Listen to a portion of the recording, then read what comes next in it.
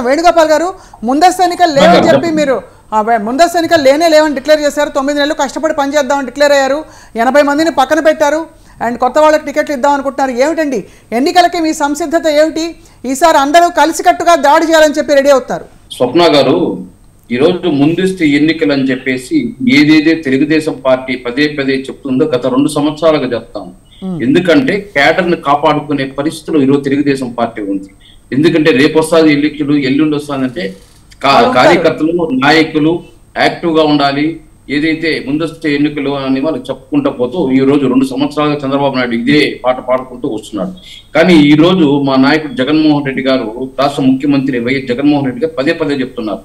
ఒక్క రోజు ముందు కూడా పోయే పరిస్థితి ఉండదు. మాకు రాష్ట్ర ప్రజలు ఐదు సంవత్సరాలు మ్యాండేట్ ఇచ్చారు. ఐదు సంవత్సరాలు మ్యాండేటరీ ఇచ్చినప్పుడు మేము ninety eight point four four percent ఈ రోజు సంక్షేమాన్ని ఇచ్చాము. అదేవిధంగా అభివృద్ధి కార్యక్రమాలు చేస్తూ ఉన్నాము.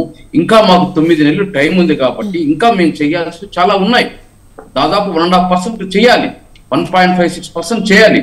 దానికి ఎగ్జాంపుల్ నిన్న ఓపీఎస్ని ఏ విధంగా సిపిఎస్గా సిపిఎస్ ఓపీఎస్ చేయాలంటే ఓపీఎస్ని జీపీఎస్గా నిన్న జగన్మోహన్ రెడ్డి గారు ఒక వ్యూహాత్మకంగా ఉద్యోగస్తులకు ఇవ్వడము అదేవిధంగా కాంట్రాక్టర్ లేబర్ని పదివేల నూట పదిహేడు మందిని రెగ్యులరైజ్ చేయడము అదే అదే విధంగా కొత్త డిఏ ఇవ్వడము పన్నెండో PRC ప్రకటించడము group one group two notification ఇవ్వడము అదేవిధంగా ఏదైతే ఒక నియోజకవర్గానికి ఒక మండలానికి రెండు జూనియర్ కాలేజీలు ఇవ్వడము ఇలాంటివన్నీ ఒకటే ఇంకా నైన్ మంత్స్ మాకు టైం చేసుకునే పనులు ఉన్నాయి.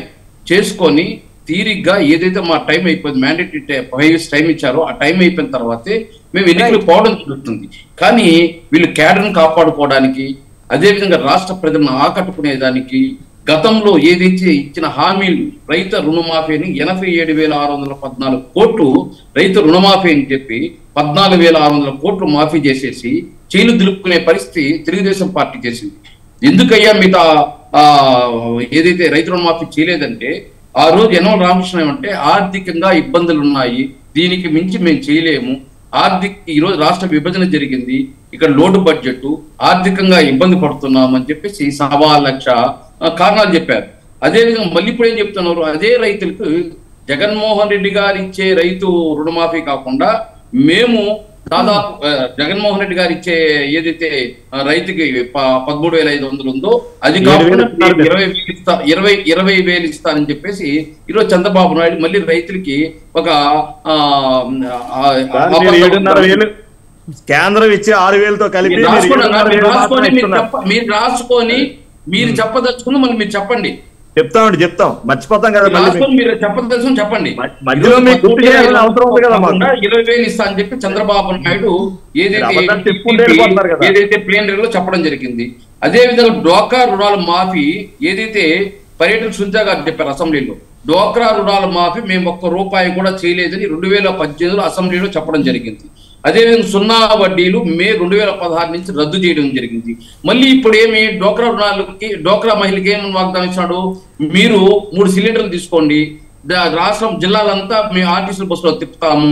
ఇలాంటి అబద్ధ వాగ్దానాలు ఇచ్చి మళ్ళీ. మొత్తం మీద మీరంటే తీరిగ్గా తాపీగా మీ మీరు అనుకున్న పనులు పూర్తి చేసి ఎన్నికలు అప్పుడు వస్తాయని చెప్తున్నారు.